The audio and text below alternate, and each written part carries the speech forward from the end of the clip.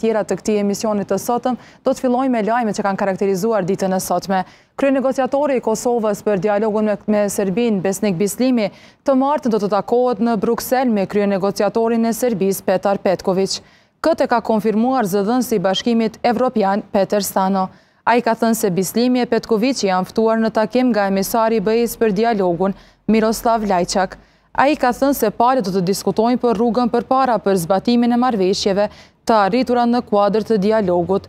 Stano ka shtuar se presin nga të dyja palët që të zbatojnë të gjitha detyrimet që kanë marrë nga marrëveshjet e arritura. Këshilltari i Bislimit, Klisman Kadiu ka thënë se tema të diskutimit pritet të jetë ecuria e dialogut, zbatimi i marrëveshjes bazike dhe aneksit të Ohrit, si dhe vlerësimi i marrëveshjeve të tjera teknike dhe masa e zbatimit të tyre.